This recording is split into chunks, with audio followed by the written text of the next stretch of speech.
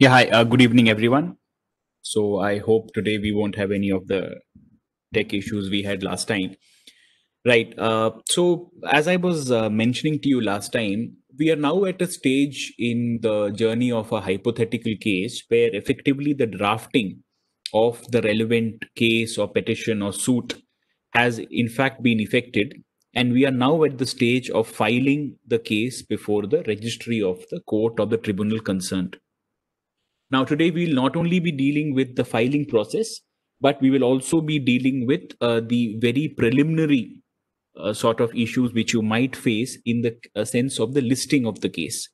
For instance, when the case gets listed before the court for the first time, what are the aspects that you need to bear in mind?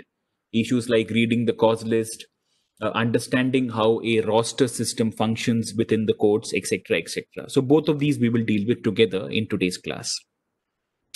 Now, uh, see, as you've all may, uh, noticed, I'm sure if you've done your internships with uh, litigation firms or advocates, that uh, a large part of the administrative work in relation to uh, the running of a law office is ensuring that paper books are properly put together and are filed before a court of law. Now, always remember that unlike uh, uh, that unlike in the case of uh, maybe a very few examples of grossly understaffed court systems in the country. I am told there are a few of these, uh, maybe trial courts in remote locations or uh, very, very small tribunals where there is uh, not much in the sense of a registry. Uh, in as much as the judge concerned may have a clerk or let's say a personal assistant who will personally essentially receive filings or pleadings on behalf of parties and do the needful. But uh, in the mainstream legal system, uh, at least in the big cities or the towns, uh, every court or every judicial setup consists of not only the judges who actually hear matters, but also something which we in common parlance called the registry of the court. Now, the registry is essentially like a filter or like an inbox in the sense that this is the entity to which you will go and submit your pleading and this is the entity which will then check the pleading in terms of certain predefined rules and then either mark defects on the same, which is a process we will come to, or pass it for listing. Now, once this approval is given, a number is generated in the sense that uh, considering the the uh, particular system being followed by the court or tribunal, a particular number will be allotted to the case depending on the subject matter or depending on the year etc and then the case is then formally placed before the judge concerned the single bench or the division bench in a high court or say the adj or the district judge in a district court for further processing or further hearing on the merits of the matter. So this is the process in brief. Now see it's relatively straightforward to be able to put together a paper book. There is a lot of worry and anxiety. I personally also felt this when i had started uh, joined the profession in terms of how to put together a paper book. But uh, effectively if you are able to source a couple of good examples of the way in which that paper book is to be maintained in the sense of either the subject matter jurisdiction say original side or appellate side uh, in the form of previous formats or previous files which have been actually filed and processed by the registry, life becomes much easier. Also, it's possibly a good idea to be up to date with the rules and regulations of the particular court or tribunal because these keep changing. For instance, in the Delhi High Court, there is something called practice uh, directions or practice notifications, whereby the registry every now and then revises the format or revises the mechanism or the manner in which certain pleadings are to be filed. You also have to bear in mind the subject matter because the different areas in a, in a, in a, in a court, for instance, the appellate side, the original side, the writ side, all of whom may have different rules and regulations in terms of how the paper books are to be made to give you one example we will just see that now i will i have uh, i had forwarded or uploaded on the nalsar forums a draft suit Interestingly, this is the one which was filed against Pro- Professor Shamnad Basheer uh, in terms of uh, trying to take down his criticism or his blog post in relation to a, uh, a certain litigation which was ongoing in the country then. but more than the subject matter of the particular litigation, what I'm more concerned with is taking you through the paper book in the sense of how a suit which was actually drafted and got ready eventually got filed in court. So if we will just go to that particular suit, I think I'll be able to explain what I want to say in clearer terms. Yes. So first, let's go to the suit. So this is the suit which I had shared on the NALSAR forums. Now, see, this is typically how a paper book is made out. Uh, you will at the very top have the description of the court. Importantly, you will have a description of what roster, I mean, sorry, not roster, what subject matter the suit is being filed under. So therefore, if you are, uh, let's say, if the pleading or the case is in the original side jurisdiction of the court, as is the case here, you will say it's in the original jurisdiction. Now, if this were a writ petition, I would have said extraordinary civil jurisdiction. So therefore, if it was a writ, criminal writ petition, I would have said extraordinary criminal jurisdiction. So therefore, ultimately, you need to specify what is the kind of subject matter jurisdiction which you are invoking. You also need to specify what is the what is the variety or what is the type of case which you are filing. So here we are filing a suit. Now, please remember this terminology CSOS is specific to the Delhi High Court because CSOS essentially stands for Civil Suit Original Side. Now, if you go to other courts, let's say high courts outside Delhi, you will have high courts possibly where this terminology is suit number. There will be high courts where the terminology is simple civil suit number or original suit number. So this will vary depending on the, uh, the different high courts or the different courts or different tribunals before which the pleading might be filed. Then, of course, you would need to put in a very brief uh, uh, enumeration of the name of the parties and identify them in terms of their standing, in terms of plaintiff, defendant, petitioner, respondent, etc. Now you need to come to the uh, the index, which also will give you an idea of how these different applications or how the different parts of a pleading are to be put together. Now, the reason why I chose this particular index is this is a very comprehensive or let's say a more complex way of filing a pleading because this is in terms of the revised Delhi High Court original side rules. Now, a typical case, let's say a writ petition, will usually have a much simpler sort of an index or a much simpler way of putting together a brief. To give you a practical example, in a writ petition, you will have the writ, you will have essentially a list of dates. Of course, things like the memo of parties, things like urgent application, etc., are part of every single uh, filing. We will come to that in detail. But in a writ petition, you will have a much simpler way because you will only have one index. Here you have different parts. If you see this document, there is a part one, part two, part three. In a simplistic filing, let's say in a writ petition, you don't have any different parts. You have a chronological setting out of these different documents. You will have an index, obviously. You may have an urgent application for listing it urgently, a memo of parties, which is essential. You will have a page wherein you will set out the court fee. Then, and in a writ petition, that court fee is usually a negligible amount. Technically, there shouldn't be a court fee on a writ petition in the strict sense and uh, then you will after that you will have uh, things like the actual writ petition. Then you will have the annexures to the writ petition.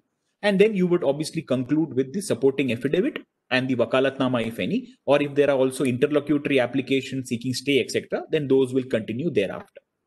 But this is essentially the one of the more complex manners of creating a paper book because this is what the delhi high court original side rules will require. Something very similar is also put in place by the Commercial Courts Act in terms of what are the differentiated requirements in terms of what you need to file along with a particular suit. But that will come to later. We will have a specific session purely on the Commercial Courts Act because that's a very important topic in today's day and age.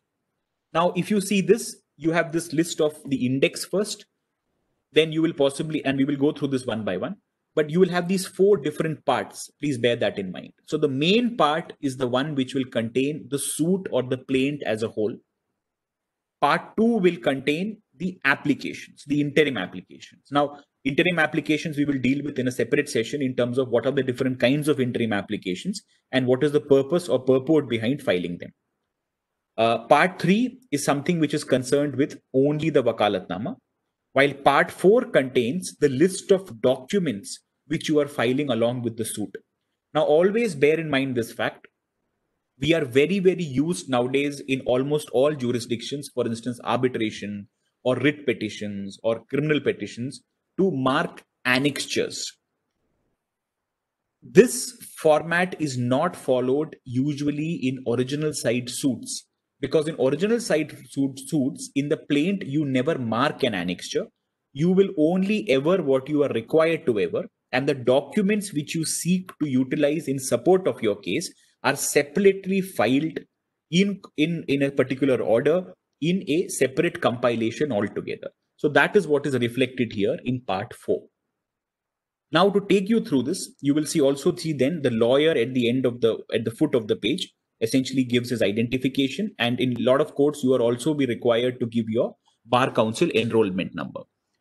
This is obviously something which doesn't require a lot of elaboration. Then you have the index for part 1 itself which again follows to a large extent the same format. Now if you see uh, you will have something called a status page. This is something which is uh, not really you know in the strict sense required but this is something which this particular uh, filing entity, the firm has required, uh, which sought to do so. Now, this is what is something which is something very typical in the Indian, I mean, the Delhi system at least, where you have to file an application for urgency so that your matter is listed in urgency. This is something which is filed for almost all matters nowadays as a routine because non filing of an urgent application means that your case may get listed after four months or five months. So, this is something which you have to do as a routine, at least in Delhi and I, am sure uh, there might be something similar in other courts as well. Now, memo of parties. This is crucial. Always remember a memo of parties is required to be filed in every litigation conceivable. Because this is where you set out for the court in very clear terms the parties, their addresses, their status within the suit or within the petition in terms of their positioning either as plaintiffs or petitioners or defendants or respondents and this is essentially the memo which will be utilized by the court to pass an order or decree in your favor. So, particularly in the case of original side suits, you will in fact find judgments where wrongly parties are mentioned in the memo of parties in terms of they may be spelling mistakes in the names or there may be some other errors. And then, you know, there is a lot of litigation after the decree is passed because somebody moves for a correction saying, Oh, I'm sorry, in the memo of parties, I put the name wrong. So something so simple can actually lead to significant consequences in the future. So even though this sounds very pedestrian, please be very careful when you make your memo of parties in terms of identification, especially in civil suits, because here the rigor of the CPC applies in full force. Now, once we go beyond the memo of parties, effectively you have the suit, which then proceeds in terms of setting out the, the entirety of the matter on the merits. And once this is over, at the end, evidently, you will have the prayer, the prayer clause, because this also is essentially effectively what you will be getting from the court, and you will obviously have to pray for it. And uh, always remember, as a fall gap, always make this prayer F in all of your pleadings.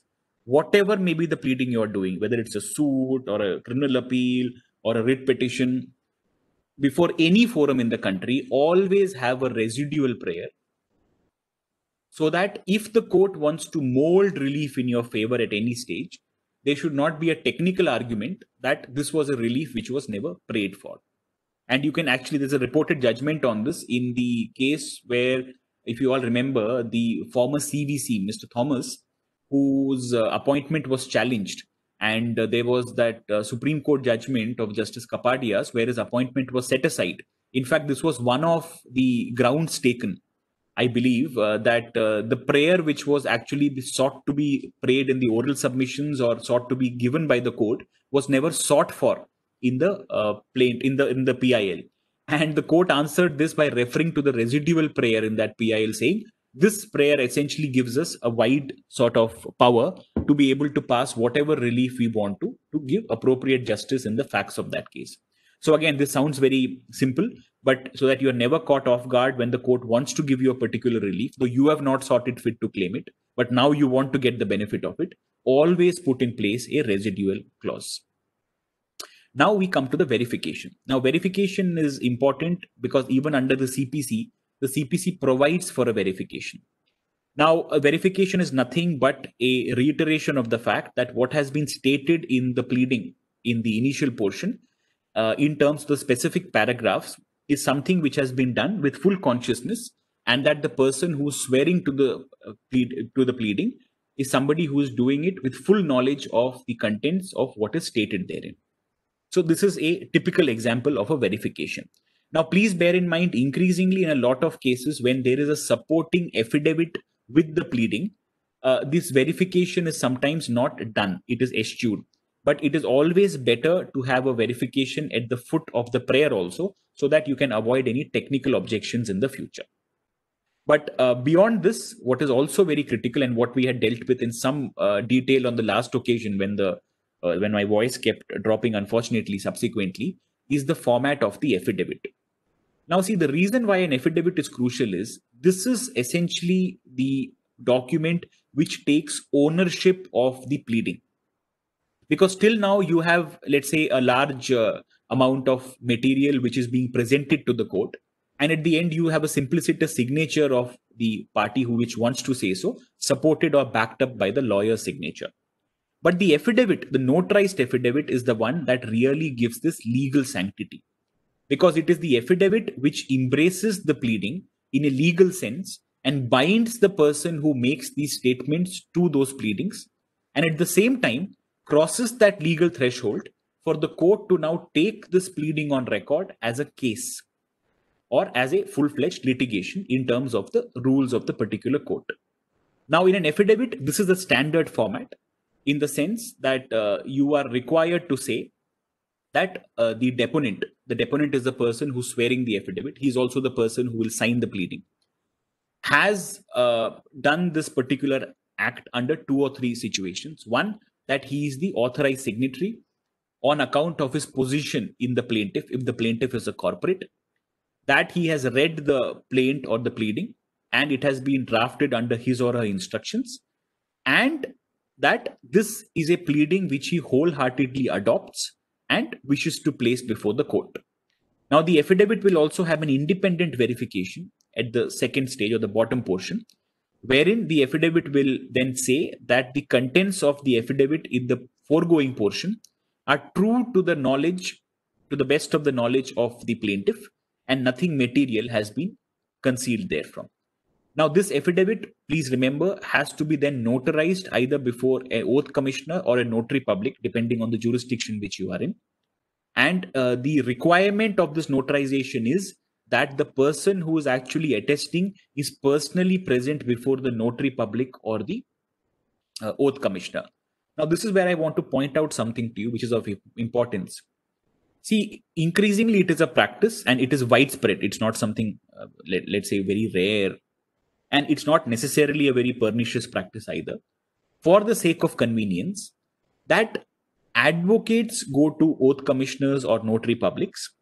And because the advocate is present the oath commissioner or the notary public simpliciter stamps the affidavit without really requiring the person who is deposing to be before him or her this is something which is widespread, but technically it is wrong because under the requirements, the and as you will see a stamp here, I identify the deponent who has signed in my presence. For a notary or an oath commissioner to to ever or to notarize the affidavit, it is imperative that the party which is so signing must be physically present before the notary public or the oath commissioner. So this is widespread that people don't do this for the sake of convenience that somebody doesn't have to come all the way to the notary public or the oath commissioner. This is routinely done in the sense that the oath commissioner or notary public will sign on this without really requiring the presence of the party. The deponent in all, all cases will sign it at his office or its home, send it to the lawyer, and the lawyer or his court staff will go and get this done. But if there is ever an objection that the other side raises, though it's a hyper technical objection, that this affidavit was wrongly notarized because the deponent never really turned up there, then it's a serious issue. So if you search online, you will find every now and then some judgment where the other side raises a hue and cry. And this usually arises in the case of parties which are situated in a different uh, territorial jurisdiction. For instance, uh, the authorized signatory is based out of Bombay now, therefore, if a notary is actually signing it in Delhi, then there is some suspicion on the other side that look, this person, person possibly did not come down to Delhi to get this done. And therefore, in such situations, it is much safer that the person gets it notarized in Bombay, wherever he or she is, and sends it across to you. So always remember that when you enter litigation or uh, uh, if you go for an internship, you will you will see very often that this is done very casually in offices. But please remember, it can have significant consequences because if your signature uh, is put on the affidavit in the sense of the advocate, because he also has to attest to the oath commissioner that he identifies the particular person, then in future you may land up in serious trouble. So therefore, please bear this tip in mind. Even though it may sound inconvenient, to the extent possible, always insist that your client or the person who is attesting to the affidavit turns up before the oath commissioner so that his signature is then duly put in the register which the oath commissioner will maintain and that there will be no controversy in this regard in the future. Now, this is a standard form of the affidavit, but I also want to show you two different versions to just make out this one small difference which can arise in different situations. So there is a small difference in the capacities in which you may attest to an affidavit. Now, let's say you are filing an affidavit in support of a case or a pleading which is purely in a personal capacity. For instance, you are filing a writ petition. This is, let's say, a draft format of a affidavit you are filing in a writ petition. Now, yeah, now in this particular affidavit, if you see, this is a very personal list. When I say personal list, what I mean is John Doe himself is aggrieved by, let's say, some action taken by the Delhi Development Authority in terms of, let's say, denying him allocation or allotment of a particular apartment which he wants. He will go to court and he will file a writ petition. Let's presume against the DDA. Now, please see para 3 of the affidavit. Here, John Doe is going to say the factual averments in the application are true to my knowledge, while the legal submissions made therein are based on legal advice. No difficulty. Now, this is important, true to my knowledge. Why is he saying true to my knowledge? Because everything that has occurred in this particular controversy in terms of him applying for an apartment, him being rejected, him protesting to the DDA, DDA refusing to do anything about it, are all matters which he is personally aware of. Now, the difference arises in a case, let's say, where John Doe now attests to an affidavit or signs an affidavit on the basis of his company. Now, let's say six subsequently, there is a company called Supreme Structures, which John Doe is working with. Supreme Structures wants to file an arbitration petition against the Rail Vikas Nigam Limited and tells John Joe, Don Joe, please sign this affidavit for us and be our authorized representative in the court of law. John Doe says okay. But now see para 3. Because in when you are appearing for a company, a lot of what you are saying will be based upon the records of the company. For instance, John Doe is somebody possibly who is sitting in a headquarter, let's say in the head office of the company. The company is doing some work, say in Meghalaya. Now in Meghalaya, they get into a dispute with Rail Vikas Nigam Limited, and now they want to file this application. So a lot of what is written in the petition or the application will not be to John Doe's personal knowledge because he's not he's not there in Meghalaya. He's sitting in the head office here. Some things he may have personal knowledge of. For instance, the letter which may have been written to RVNL asking for damages or compensation, that John Doe may have seen being drafted in the head office. But a lot of the other issues, he's going to glean knowledge of them only by looking into the records of the company, say emails, say balance sheets, etc.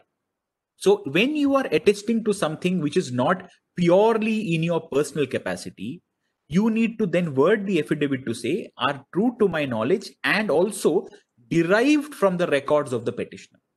This is the correct way of doing it because then at least you are very clear that your knowledge is not something which is purely based on personal knowledge, but emanates from documents.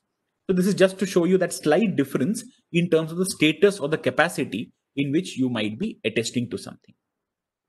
Now, uh, as I mentioned, uh, in the case of the paper book, Another aspect which you need to bear in mind is that in the case of a company, for instance, here, Natco Pharma, ultimately, who is the person who is filing the pleading?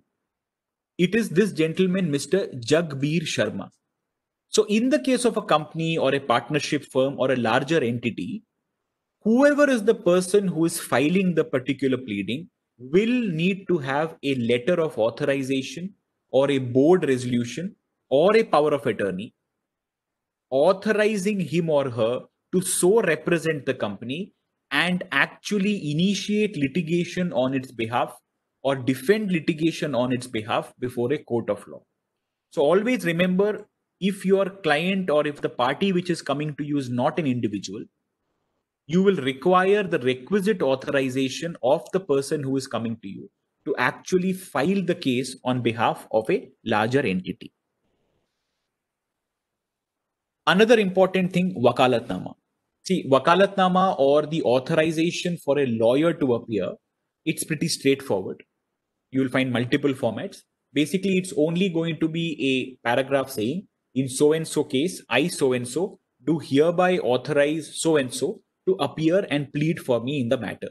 Now, traditional wakalatnama, you will find multiple formats. So I don't want to put this up on the screen right now, wherein you will have other nuances saying things like you know that you fully authorize for all purposes in terms of withdrawing money also in terms of signing documents filing documents before the court etc etc there are some more innovative wakalatnamas which i've seen where the lawyer also says that by any chance if i don't turn up on that date i don't appear in court and your case gets dismissed you will not have any claim for damages against me you know uh, somewhat more innovative um, wakalatnamas also out there but again that is not something which is essential to the pursuit of the case in terms of the authorization of the lawyer concerned. So you must have the uh, wakalatnama also. Also remember, as we mentioned when we talked about uh, prerequisites in the class where we spoke about prerequisites, uh, whatever is the court fee which you require to pay, that is also something which you will have to annex along with the particular suit or plaint or pleading. So this is essentially how you need to deal with creating a paper book.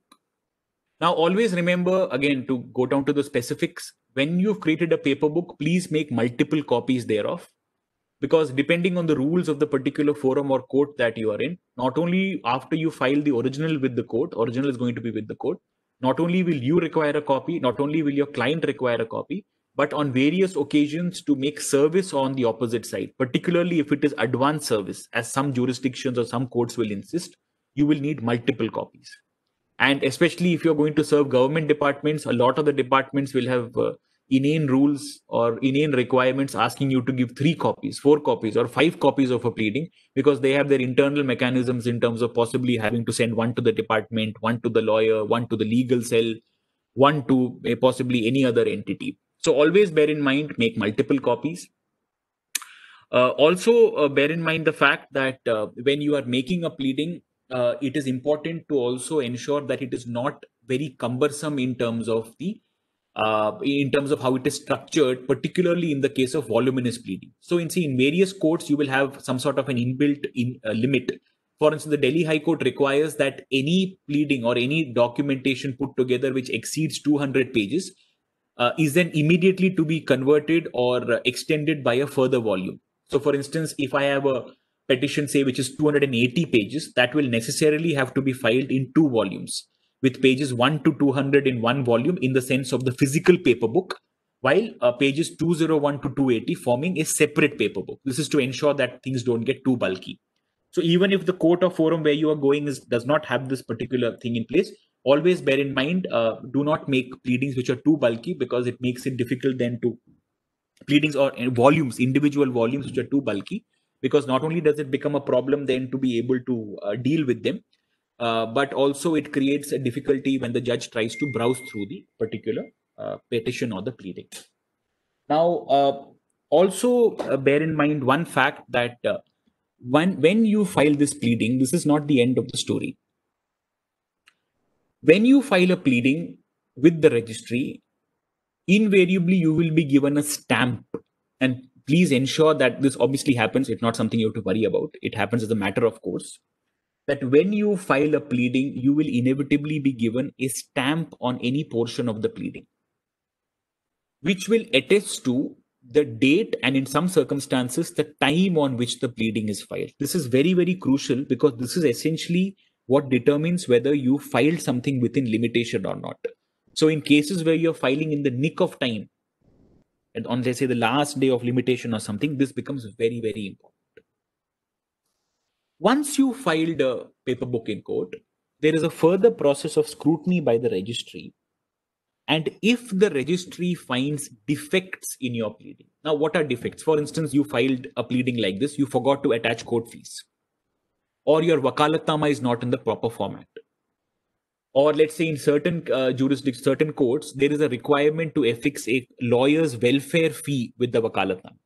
This is there in Delhi. A 10 rupee uh, stamp or a 20 rupee stamp for lawyers' welfare. Now, if any of these prerequisites are not met, your affidavit is not in order, the pleading is not in the correct format, etc., etc., the registry will mark defects. Essentially, this is the checklist of things you need to change in your plaint or in your uh, pleading. Now, please bear in mind, in under a lot of rules, under a lot of jurisdictions, there is a time limit within which you must do it. Usually, it's one month. The Supreme Court, it's one month. Delhi High Court, it's one month if you don't remedy those defects within that one month period, and let's say you file after two months or three months, you will invariably have to seek condonation of delay in getting the matter listed. In the case of certain subject matters like Section 34 petitions, etc., under the Arbitration Act, where the time limits are very, very strict, this can be a very difficult proposition. So always bear in mind, after you filed a petition, you are required to remove defects. And this is something which might be taken off care of say by your office staff. But you need to bear in mind the fact that there is an outer limit within which you must file it. So because a lot of people get comfortable they file something within limitation and then they don't bother checking up on it for 4 months or 5 months. That is a very very dangerous practice. Therefore always ensure do not do that keep following up with the matter till the registry clears it so after let's say you've gotten the uh, petition with you. After the registries marked defects on it, and you have gone ahead and cleared all those defects to the satisfaction of the registry, the registry will at that stage formally clear the matter. Now, when it clears the matter, it then officially gives you a case number. Now, if you see at the top of this paper book, there is a reason why that uh, case number is written in hand because when the lawyer filed this case in court they, they didn't have a case number it is only after the registry cleared it for listing that the lawyer was intimated of what the case number was and the lawyer then accordingly put that case number along with the cost item in his own hand this is for future reference so that's the stage at which the case number comes about now, one last thing before we move to the next stage, something I skipped. In many jurisdictions, uh, you will also have to give an undertaking to the fact when you're filing as to whether uh, there is a caveat which has been received by the court or not. So, see, let's say you are the plaintiff. Now, if you are the plaintiff, what you will possibly do is that when you file the particular plaint in court, you may not have received any intimation from the other side as to them having filed a caveat in court. Now, what is a caveat? A caveat is nothing but an intimation to a court that you are anticipating certain litigation to arise against you. And that in anticipation of this litigation, you are intimating the court that if any case comes to be filed against you, you should be given advance notice before the court passes any order against you. Now, in many cases, you know, there is a possibility that there is no requirement for advance service and urgent matters, interlocutory applications can get listed before a court. And it is very, very possible that a court passes an ex parte order against the respondent, keeping in account the urgency of the matter. So, therefore, in many jurisdictions, you will be required to go to a particular part of the registry and inquire from the registry if any caveat has been lodged against your client in a matter or not. And if there is no such lodging, then you are required to give that report. So if you see here, you are required to go to that particular part of the registry and get a stamp from there saying there is no caveat. Because if there is a caveat, then invariably you will be required to make advance service to the other side. Now, please bear in mind, even in the absence of a caveat having been launched, there might be specific court rules requiring you to make advance service in certain cases. That depends from court to court and system to system. Now, also bear in mind, therefore, if you are a defendant or if you are somebody who is anticipating litigation against you, it is advisable to file a caveat with the particular court where you apprehend that the other side might be planning to launch a litigation or file an appeal or whatever might be the situation. So these are essentially the elements which you need to take into account when you go to the aspect of filing. So now we have done with filing, we are done with uh, the uh, defects clearance, and we are done with the uh, final marking of the matter in the sense that there is a specific number allotted to it. Now, what happens? Uh, this is also a, a, reasonably interesting element of what really happens or transpires at this stage. Now you have something called the roster. Now, in the roster, I hope the so this is something which I had not shared with you uh, formally. Uh, I hope this is uh, visible to everybody. If somebody can just uh, message me and let me know if the roster is visible. For some reason, it's yeah, perfect. Thanks, Umang. So this is essentially a roster. Now, what is a roster?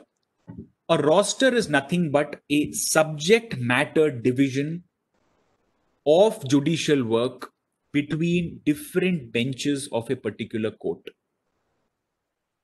Now, rosters are segregations which are very specifically enumerated in larger courts, say a high court or a supreme court. And there is also a roster which is in play in the, uh, let's say, trial courts too, in, in most situations. But let's say, you know, there may be a tribunal which only deals with one particular subject matter, say NCLAT or NCLT, in that case there may not be any subject matter division strictly though even even now today in the nclt and nclat there are certain subject matter divisions in terms of say company matters insolvency matters etc but it's not as fleshed out as it is in the case of larger judicial institutions say like a high court. Now if you see this roster this roster is what determines which bench it is your case will go before. And this roster keeps changing. Uh, usually it changes once in six months or once in one year, and different judges are then marked different subject matters. Now, to just take an example, if what I had filed before the registry was a public interest litigation, inevitably this public interest litigation will end up before court number one, presided over by the Chief Justice. And that is because the roster says all PIL matters before court number one. Now, therefore, the roster is what determines and what should inform your knowledge or your decision in terms of what is the bench which will ultimately end up hearing your matter. And this is a roster which is scrupulously followed. The only exception which sometimes occurs is if there is a particular bench which is marked a roster, and for any personal reason the judge concerned does not want to take up the case, then those matters are then referred to the chief justice see because ultimately the chief justice has ultimate discretion and in th- those cases therefore the chief justice uh, might decide to actually try and list it before a particular other bench even though the roster may strictly not be applicable also do bear in mind that even though rosters are followed in certain courts and jurisdictions if matters are part heard for instance there's a particular judge let's say honorable justice rajiv shakdher who is hearing a matter now, he's judge in charge of the original side, and he is hearing a matter under, let's say, the arbitration act. Or let's say he's hearing, in this case, he's not given matters under the arbitration act. The roster says he will hear original side matters. Now, let's say he hears an original side matter, say over two months. He's part heard the matter, but the hearings are not concluded. And tomorrow the roster changes, and let's say he goes to the criminal side or he goes to any other roster. Under the Delhi High Court, a judge is then allowed to retain that a part heard matter in certain high courts, that's not allowed. I am informed in the Calcutta High Court, irrespective of how long the matter may have gone on, once the roster changes, the matter immediately gets disassociated from that judge concerned. So there are certain exceptions based on different court systems. Now, this is essentially a roster. Now, once the roster is in place, you will now have the matter being placed before that particular court or tribunal by the registry concerned. Now, what happens? Your case now gets listed for the very first time before the court. What do you do? So, every listing before the court is captured in something called the cause list. Every court essentially publishes a list of its daily business, which is referred to as a cause list. Now, in the cause list, you will find a wealth of information in terms of the daily. So, I've taken this cause list from January, the Delhi High Court, because after the pandemic and the restricted functioning, cause lists today are a slight, are slightly different in terms of their content. So this is a wealth of information. For instance, the cause list will tell you important details like where mentioning of matters is to be done. Mentioning is something which again varies from court to court. A mentioning is something whereby uh, the registry may not list your matter, say, in a day or two. But the relief you're seeking is that urgent. Somebody is out to arrest you, your bank guarantees are getting encashed, etc. So there is a procedure in various courts to mention matters out of turn directly before the concerned authority. In the case of the Delhi High Court, the authority is the Chief Justice. So if you want an urgent listing of a matter, you need to mention the matter the very first thing in the day when the uh, Chief Justice presides over the bench, when he comes in to preside over the bench. Now, it also will give you other information like if any court is on leave, it's not assembling today. Uh, it will probably tell you uh, that there will be a change in the sitting of a particular judge in terms of the courtroom. It may tell you about special benches which are coming up on that particular day. It may contain deletions because matters which may have been shown in, say, an advanced cause list, in the final cause list of the day, they may get deleted for various reasons. They may be shifted to other courts. They may be deleted because there is some other defect, etc., etc. And of course, there are notes and circulars in terms of you know, some important contemporary development, let's say uh, Lok Adalat, etc., etc. It will also contain a list of uh, judgments which are being pronounced on that particular day, so that parties are given advance intimation, lawyers are given advance intimation that a judgment is getting pronounced. Now, aside from all of this, a cause list is important because it tells you what item is your matter listed as and before which judge. For instance, to take this example, let's say you filed a completely new case. You filed a civil miscellaneous petition and it's coming up before the court for the first time on the 31st of January 2020. Now, when you see the cause list in the evening, you either search by the name of the party or by the lawyer's name, and you will come to know that this judge, this particular uh, matter is listed, let's say, before court number 24. Now, in court number 24, and this is again something which will change from jurisdiction to jurisdiction, but in the context of the Delhi High Court, please see something called a supplementary list. Now, how this works in the Delhi High Court is that you have different lists. There is something called an advanced list. An advanced list functions for pending matters. For instance, you have a matter in January. Now, on that date, the judge concerned gives you a next date, let's say in March, let's say 20th of March. So the registry knows in January itself that on the 20th of March, it has to list a matter of yours before the court. Therefore, almost let's say four or five days or a week in advance of the 20th of March, the registry will bring out a list called advanced list in which it will list all the matters which have already been deemed to have been or directed to have been listed for the 20th. This can obviously be done in advance because the registry is aware of the matter because it's pending.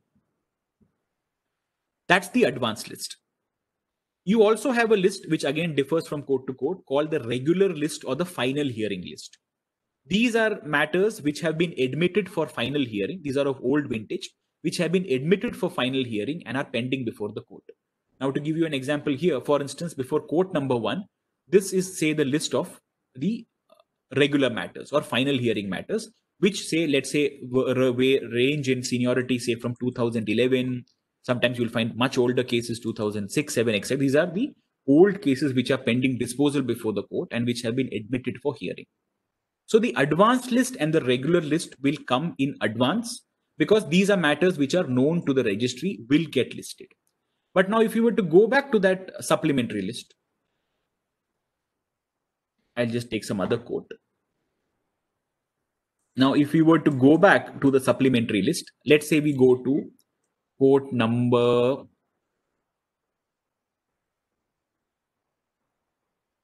I think I missed this.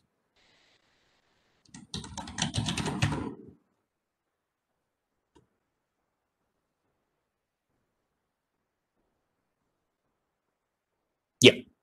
Now let's take quote number one. Now see the sub. So therefore, the advanced list invariably will come in chronology. So let's say there are 80 matters before quote number one listed for 31st of January 2020 in the advanced list. So evidently the supplementary list will become will begin from the next number that is 81. Now this creates a lot of confusion. I remember when my, when I was interning and for the first time when I accompanied uh, the senior the lawyer to court we had a supplementary matter and that was I think item sometime in the 20s so I thought, oh, it will start with item number one, and possibly, you know, we'll probably end up with a matter around lunchtime. So suddenly, when I looked at the display board, display board is essentially something in court which tells you what item is going on before what court. And that's the best tool possible for a lawyer who has multiple matters. I ran around like a headless chicken when I suddenly saw that our matter came up first. I was in complete panic. I had no idea what happened. So that's the day I realized later when the matter got over and when I realized that, uh, you know, the supplementary list is something which is taken up together. So in many courts, you'll be surprised to find that in the, in the, in the morning at 10.30, when the judge sits, suddenly item number 65 is called out or 66 is called out. And, uh, you know, item number one is nowhere to be seen.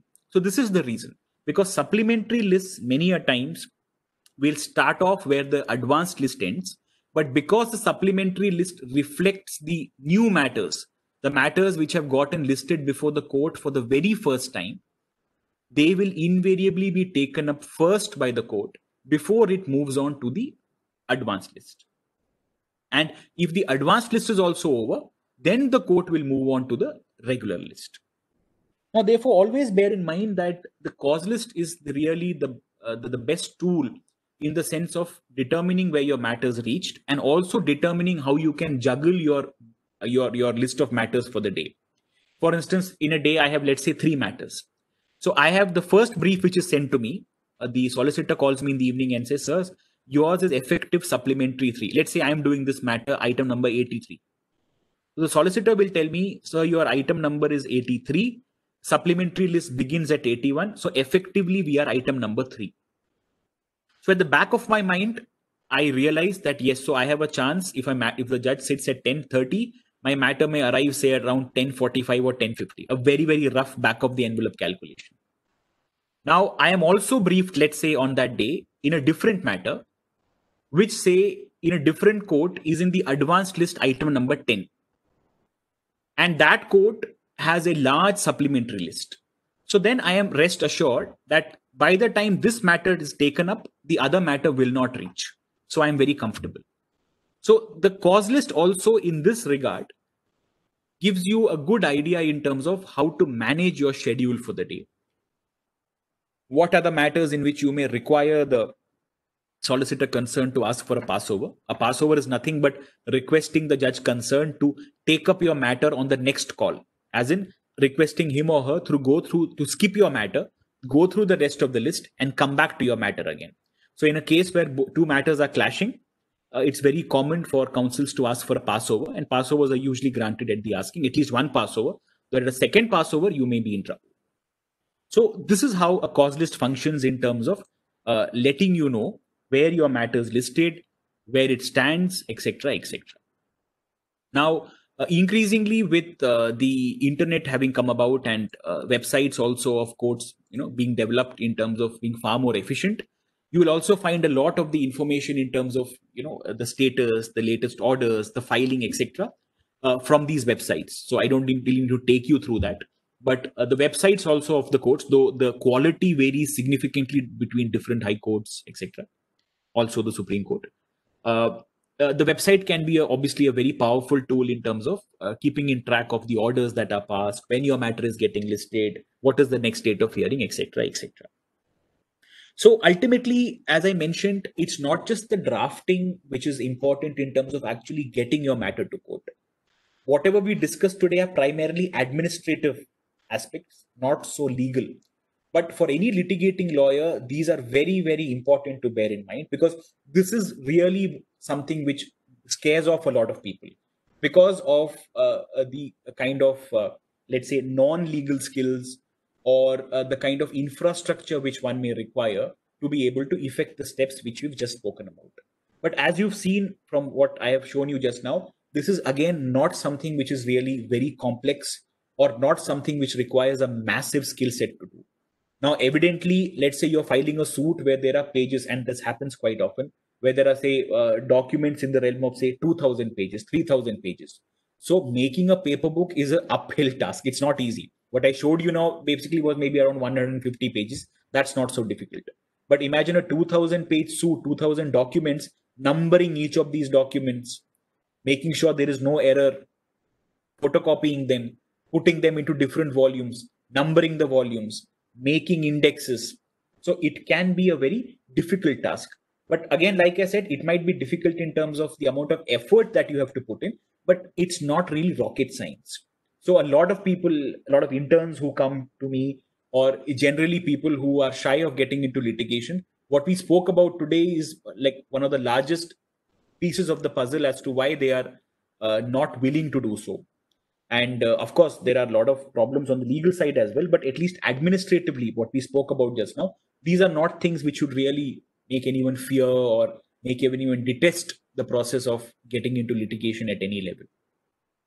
So this is essentially it from me in terms of the process but uh, this is something which you will again uh, keep running into very very often whenever you do an internship or obviously later on in time when you essentially decide to enter into the world of litigation. And uh, as i mentioned this is something which can be tackled uh, relatively easily but again this remains a very important aspect of how exactly litigation functions in uh, the contemporary times. So uh, that's pretty much it from me in terms of uh, what this represents. Uh, if there are any queries then yeah please shoot in terms of what all this entails. And again just to while you are typing out your questions this is something which can be i mean if this is something which you absolutely detest then if you are purely into a counsel practice then this is something which you can completely avoid but uh, at least in the initial years my uh, suggestion to you would be do try and get a hands-on experience of this because it, it then gives you a much better understanding of how a paper book essentially works and that will stand you in good stead in the years to come. So uh, after a point of time you, you can delegate this you can choose not to do it at all. But at least in the initial years it's important to understand what all a paper book requires so that you are never caught on the wrong foot in the future if such an issue ever arises so that is uh, pretty much it from me in this regard if there are any specific queries in relation to what we've spoken of today then yeah please feel free to ask me about the same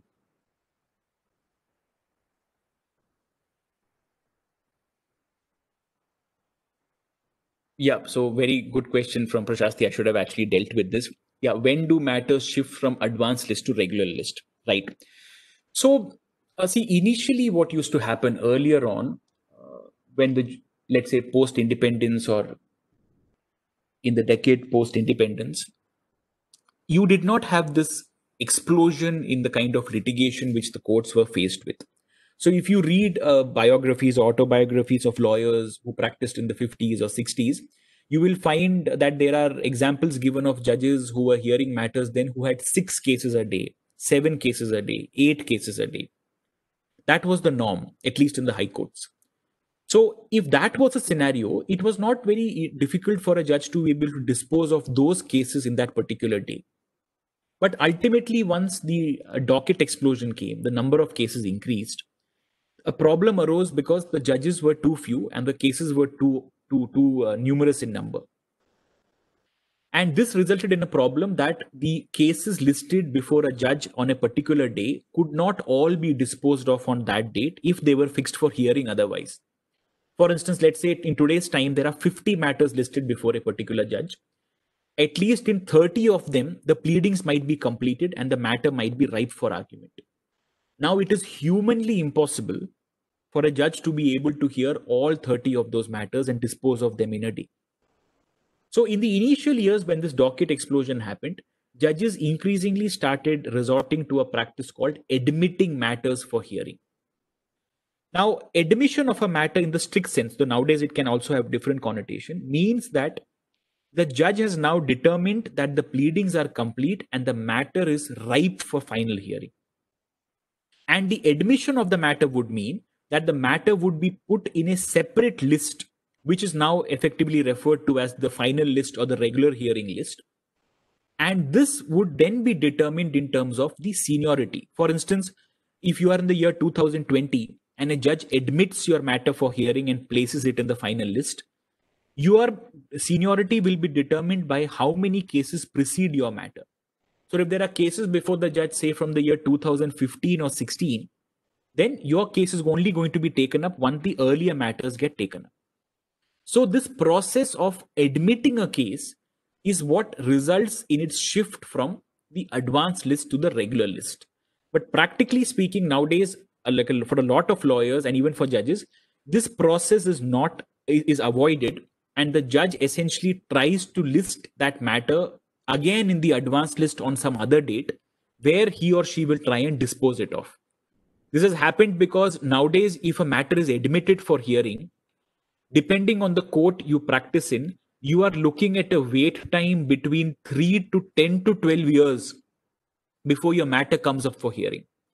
So now, for a lot of matters, getting a matter admitted and put in the regular list is effectively a death sentence, which is why increasingly lawyers now try and resist their matter getting admitted and judges also considering their difficult situation. Also to a large extent do try and list matters in advanced lists on another day and try and dispose them off but this has created a problem that matters which have already gone into the advanced list continue to languish. So their fate becomes far worse in the sense that uh, you know matters which are far, far younger if i may call it that or far more contemporary start getting disposed of while the regular list remains the way it is so that's a significant problem. But unfortunately, till we augment the number of judges we have, that I don't think is a problem which can be remedied in any satisfactory manner. So yeah, so for, for a very long answer to your question, Prashasti, that's how matters shift from the advanced list to the regular list. When the judge formally says, I'm admitting this.